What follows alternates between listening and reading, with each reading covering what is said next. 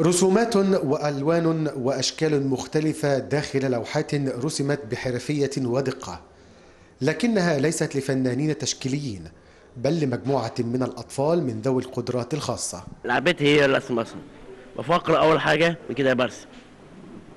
بخترع حاجات في عقلي وبرسمها. في مساعدين بيساعدوني في الرسم. هنا هو في المعهد.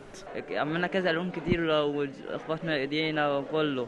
مش عارف عملنا إزاي. صدفة كده. وكمان عملنا شجرة وشمس وصم وقمع وكل حاجة. وعملنا تيشيرت محمد صلاح. عشان إحنا كلنا نحب تيشيرت محمد صلاح جدا. اسمي محمد صلاح. يعني يلا عشان فرحان قوي. فرحان عشان من الزمالك محمد صلاح طلع أول. وباهتمام المؤسسات التعليمية لذوي الاحتياجات الخاصة يساعد في تطوير مهاراتهم والاستفادة من طاقاتهم الإيجابية. بدأوا معانا من مرحلة كيجي لما بدأوا يكبروا وصلوا مرحلة ثانوي وصلنا لثانية ثانوي ثالثة ثانوي السنة دي بدأنا نفكر مستقبليا الأولاد دول هيبقى إيه مكانهم يعني هيبقى وضعهم إيه في بعد كده. فبدأنا نفكر إحنا نعمل زي بروتوكول تعاون أو يعني مع المؤسسات التعليم العالي يعني زي المعاهد والكليات. بدأنا نوجههم في ورش الخزف. ورش الرسم ورش الطباعة طباعة الملابس وطبعوا تيشرتات بالشبلونة وطبعوا وعملوا عم... تيشرتات بالألوان بالعقد والربط. عملوا شغل خزف رائع بصراحة.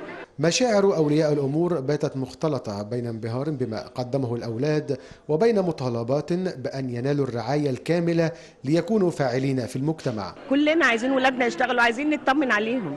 يعني مين مش عايز ابنه يبقى أحسن حاجة؟ وهم على فكرة يستاهلوا املي انه إن شاء الله بإذن الله يكون 2018 دوت دي حاجة كويسة جدا ليهم في 2018 ويتميز الأطفال الموهوبين من ذوي الاحتياجات الخاصة عن أقرانهم بمستوى عال من التفكير الابتكاري ويعبرون عن أفكارهم بأساليب متعددة واستطاعوا أن يثبتوا قدرتهم وتفوقهم في مجالات عدة. هؤلاء الأطفال ليسوا بعاجزين كما يظن البعض بل هم قادرون ومبدعون وعظماء. وما الإعاقة إلا إعاقة جسد وجهل وكسل. فانعم يا من تعلمت فأبدعت وبقدرتك تألقت. محمد الخطيب النيل.